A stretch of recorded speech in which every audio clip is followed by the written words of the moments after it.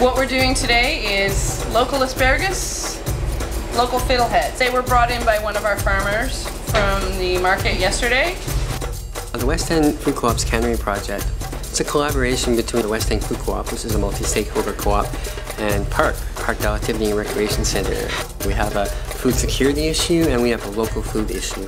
Both those issues support and can be best realized through canning.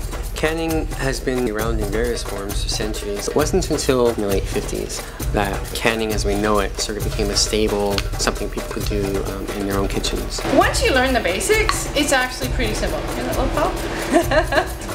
if you can boil water, if you can measure out, you know, a tablespoon of this and a cup of that and, and follow a recipe, you can you can do hot water bath canning. It's not super rocket science. And it's buying good ingredients, which is what we're hoping to promote in the first place. So. Well, I grew up with um, a, a very creative and homey kind of mom who preserved everything that grew in the garden.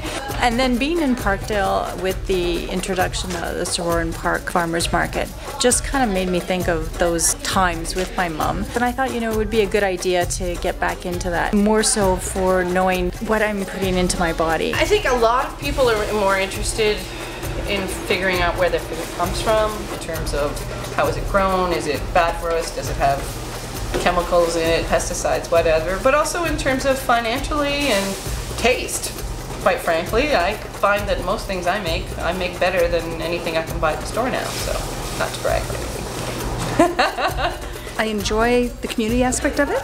Um, I'm a member of the West End Food Co-op. I had a big interest in just learning to can because it, it makes you more self-sufficient. And I guess that's why I want to do it, buying the fresh produce, bringing it home, preserving it to have it later, to have that knowledge. It The workshop benefits community members generally. It's all about cultivating a sense of cooperative work, working together with people regardless of your background. We have a lot of immigrants in this community, we have a lot of people who have psychiatric disabilities, a lot of people who have physical disabilities, specifically in Parkdale. We want to do a little bit more outreach to those communities, but that takes money, you know, it takes time and energy to actually engage people in those communities and say, come on, yes, we can support you in coming to this workshop. We do it all the time. People should be preserving their food because it's cheap, it's easy, it's rewarding. You can can preserve local food. It doesn't have to be shipped all across the continent.